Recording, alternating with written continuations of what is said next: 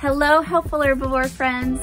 Today we're going to be making a simple and delicious go-to smoothie. It's got your fiber, it's got your protein, and your yumminess. So let's get started.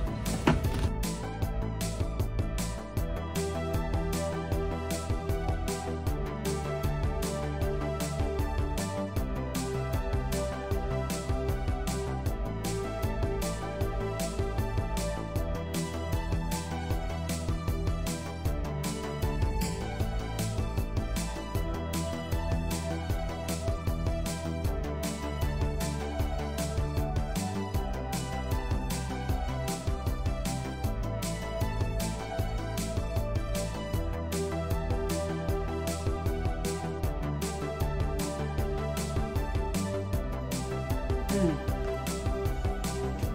This is so good. This is the perfect go-to for like breakfast or in between meals when you want that nutritional boost to hold you over.